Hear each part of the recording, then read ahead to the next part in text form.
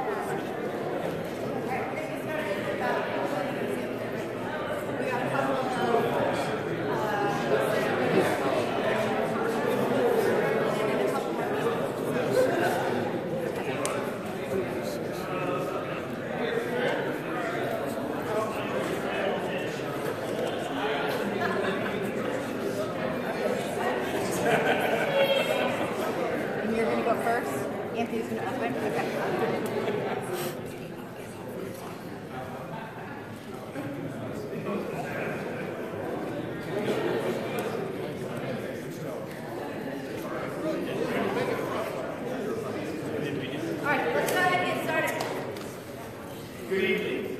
Thank you for coming. That was one of the more interesting State of State speeches I've heard in my 16 years. I'm going to start with three things that the governor said tonight that I absolutely agree with. One, Kansas works better when we all work together. Two, we should dream boldly. Three, education is the first priority.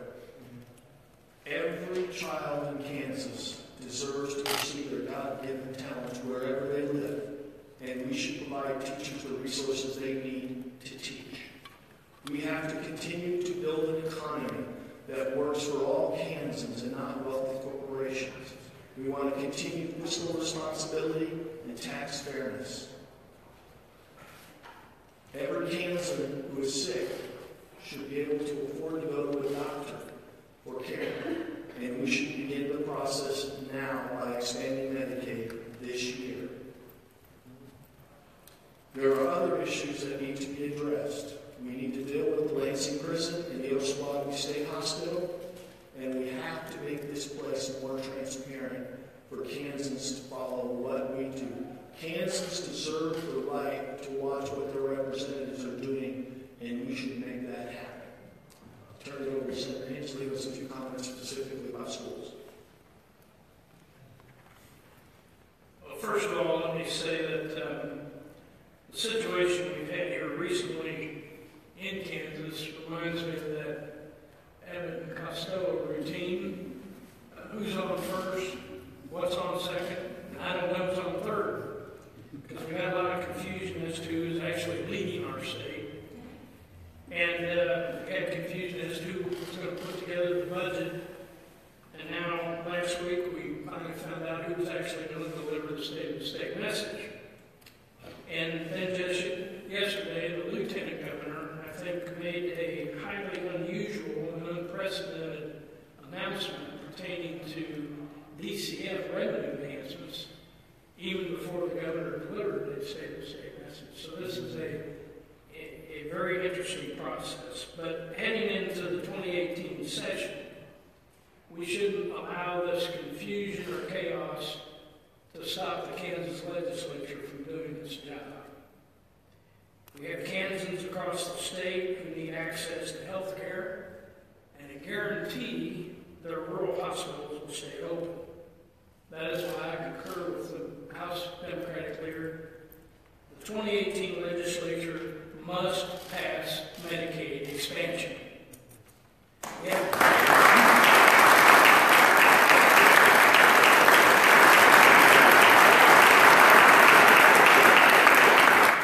Kansans who need job training and competitive wages. That's why the Kansas legislature in 2018 must reinstate the prevailing wage and pass the Hire Kansans First Act. Kansans need safe roads and bridges to travel on. That is why we will support restoring funding to our state's highway fund. And, most importantly, Kansans want their children and grandchildren to attend fully funded schools.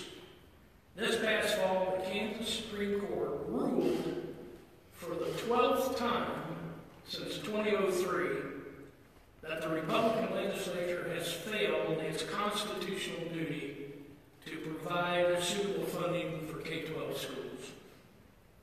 This came as no surprise as the level of funding in Senate Bill 19, which was the school finance bill that passed last year, four years from now will still be below the level of funding that we had 10 years ago. Think of it. 10 years ago would be the level of funding four years from now. And so that's why the Supreme Court has said, has ordered, that we need a system that adequately and equitably funds schools. We don't need a constitutional amendment to amend Article 6 or do away with Article 6 because it's our constitutional duty. The court has done its job. Now it's time that we do our job.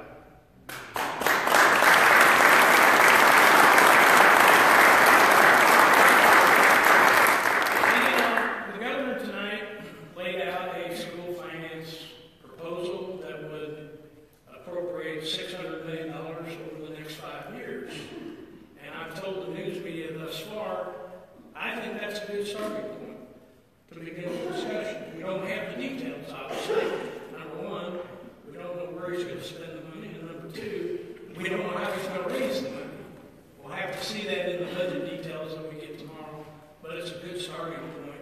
And Sam Brownback has laid that down for us to work in a bipartisan manner and respond to begin the city of Springfield. We're happy to answer any questions. Tony, the, the Republican leadership, particularly in the Senate, was really upset uh, about this speech. And what they were upset about was that they don't think this school funding proposal can be sustained. They think there is a catch here that what's going to happen is they're going to take money from KPERS, possibly KDOT, and even with all that, there's going to be another tax increase. To be a tax increase in two or three years that he's doing this in being cap. What's, what's your thought on that? My thought is we have to see the details, exactly where he plans to get the money. And uh, I think the Senate Republican leadership is upset primarily because it foils their opportunity to put forward a constitutional amendment to amend Article 6. I think that's what they're upset about. Uh, I think they were amazed and astonished that the government actually proposed that amount of money for schools. And uh, their plan was to try to pass a constitution. But it doesn't mean a damn unless they know how, unless they have a plan. One other point about that though, what he, what he did though, is agree that the formula works, because he said, oh, we need to put more resources in, which really says we don't need to go through this exercise of trying to recreate a formula with the expert witnesses and all the lawyers. I think that was the biggest takeaway that they had heartburn with, and I think that's a good idea. We only have, you know, until April thirtieth, and we shouldn't be wasting days trying to redraft a formula that we know works. And we should get to work, just like Senator Hensley mentioned, in finding out where money we spend and how we raise it.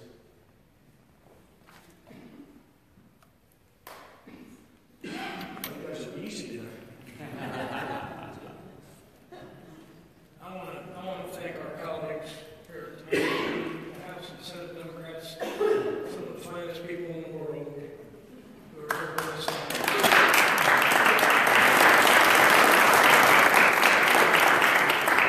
Well, You, you said you wanted to go ahead and put money back into to KDOT, so on and so forth. How, for those proposals, how do you guys plan on getting the money for that?